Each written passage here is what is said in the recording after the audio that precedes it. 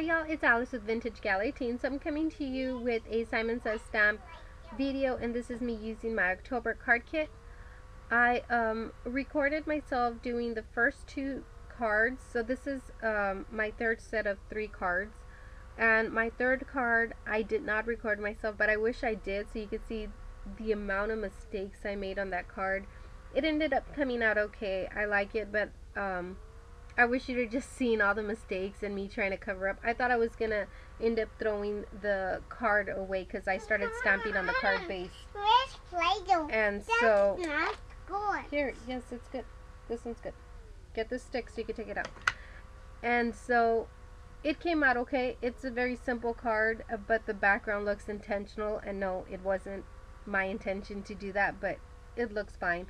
This one I'm just stamping them uh, randomly, two going to the right side, two going to the left side. Um, and I'm going to use my bits and pieces that are being left over and uh, just kind of do a, I guess, collage like rectangles here and there. I'm going to put the word hello in this one and then I'm going to add a, a chipboard butterfly sticker and that's it for that one. The second card you're going to see me create, I um, I'm going to use one of those frames that I cut out and then I'm going to use a square or rectangle in the center which is floral one. I'm going to use the sunglasses that I have pre-stamped which is part of the stamp set. I'm going to doodle inside the sunglasses two little hearts and then I'm going to use the die cut that says hello which came in the kit as well.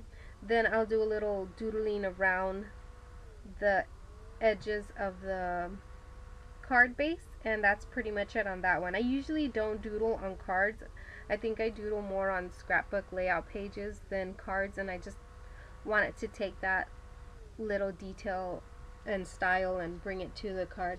And the third one that you're just going to see a picture of at the end, like I said, I was stamping the heck out of the card base and I ended up covering it up with red ink. So you'll see some of the stamping in the background like if it's intentional. And like I said I just it ended up coming out okay. I don't mind. Then I added a black cardstock then a green cardstock and then the final paper which was the little rectangle with the uh, with the hearts that have the little scribble lines all over.